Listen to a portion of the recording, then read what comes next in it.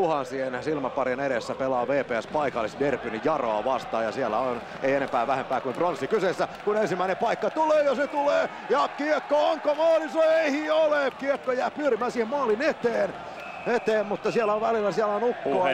Nyt me käydään näköjään puhelimessa siinä Simillä hesti hyvin. Sorakangas näyttää ei maalia näin. Näin Luomalla onnistui torjumaan oman kutinsa. Pää koittaa laittaa kiekkoa keskellä puolelle nopeasti. Sieltä tulee sitten heittäytyenä Kristoffe ja Kivimäki laukoo tolppaan. Ja mitähän mies tuossa yrittää laittaa ilmeisesti sinne luukulle ja nyt on sitten menossa vaarasuo, mutta inhottavasti nyt Jukureiden kannalta kiekko pomppii tuossa.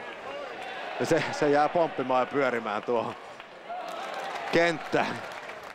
Mika Halava, varsin vauhdikas avauserä. Miltä se siellä kentällä vaikutti? No vauhti oli kyllä tosi paljon, että kaksi, kaksi energistä joukkueet vastakkain, että, että oli kyllä paljon vauhtia. kun nyt tulee sitten Samuli Kivimäki ja sieltä se tulee se Kivimäen pommi. Se on tarkka, se on kova ja se on sisällä 1-0. Niin lainatakseni hyvää ystävääni niin Öllölän Maharatsa, Samuli Kivimäen laukaukset ovat poikkeuksellisia. Ne menevät usein maaliin. Tähän se, tyyliin.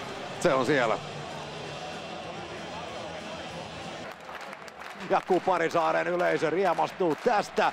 Mika Kujanpää kiekossa. Ylivoimaa vielä 20 sekuntia jäljellä, kun Sampa Kivimäen pyssy laukeaa toistamiseen. Ja näin on lukemat 2-0. Se oli se ekan erä varmaan se kohdistuslaukaus tuohon rimaan tai tolppaan ja nyt kaksi seuraavaa sitten puitten väliin ja sisään.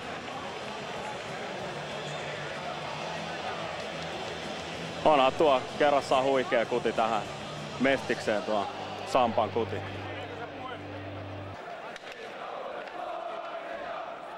Toivottavasti siinä nyt ei, ei sitten Lahkonen loukannut itseään, kun Sport tulee jälleen väkevästi maalille ja Mika Kujanpää nostaa kiekon etukulmasta sisään. Ja näin lukemat sitten tapahtumarikkaiden hetkien jälkeen 3-0. Nyt Similä kyllä itse imaisee kiekon maaliin.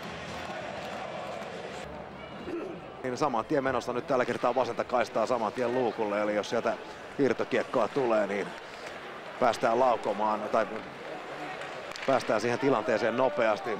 Nyt on maalin takana Hattunen ja laittaa kiekon etu kolmasta Röstylä sisään. Johan oli maali, voi hyvät ystävät!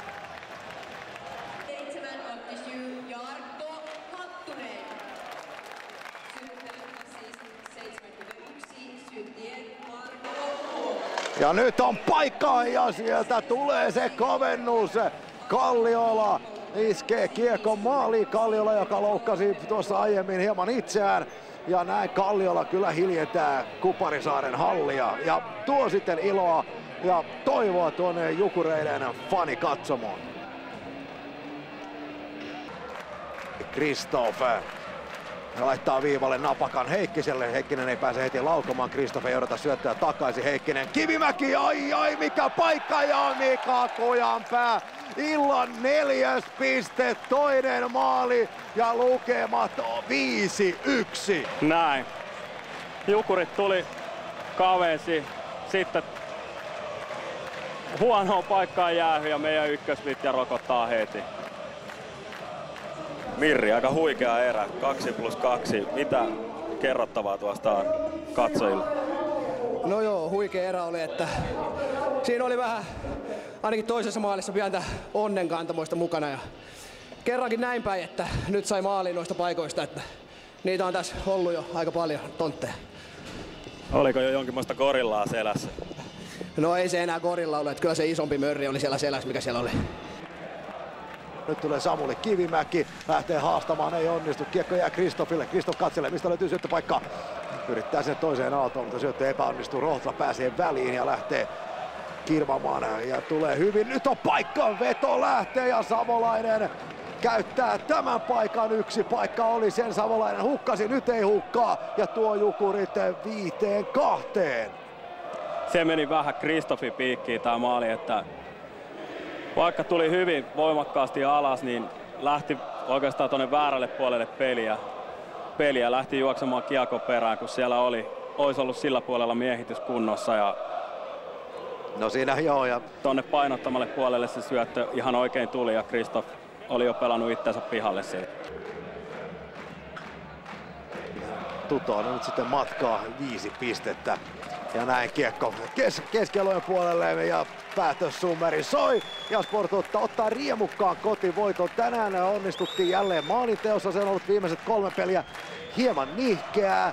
Paikkoja on tullut, ei maaleja. Tänään niitä tuli.